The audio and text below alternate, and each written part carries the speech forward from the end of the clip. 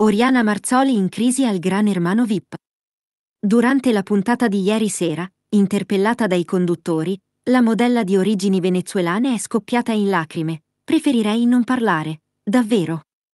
Se devo essere sincera, giuro su Dio. All'inizio non me l'aspettavo che fosse così dura e che mi sarebbe mancato così tanto il mio ragazzo, e non sto scherzando. Il reality non mi dà stimoli, mi rendo conto che non sorrido molto, e io sono una che sorride sempre.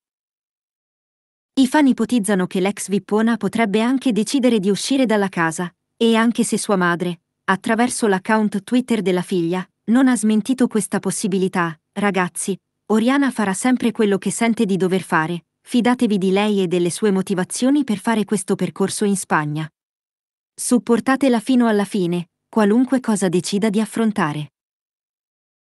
Quel che appare evidente è che la Marzoli stia avvertendo forte la mancanza di Daniele Dalmoro il quale, è bene ricordarlo, non è mai stato d'accordo con il fatto che la fidanzata partecipasse al Gran Hermano VIP e che di conseguenza sarebbe stata lontana da lui per diversi mesi. Vi dico subito che non mi piace molto l'idea.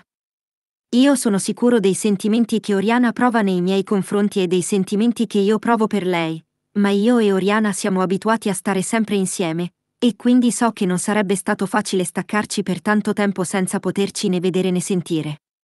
Questo è l'unico motivo per il quale sono un po' preoccupato.